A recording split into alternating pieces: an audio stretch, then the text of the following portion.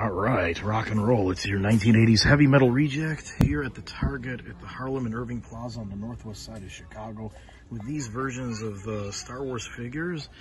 Um, they have Skeletor for the Masters of the Universe, two of them, and four of the He-Mans. Don't get them. I'm going to show you a picture at the, well, I have the action figure hunter show you a picture of what He-Man really looks like in real life, this version of He-Man.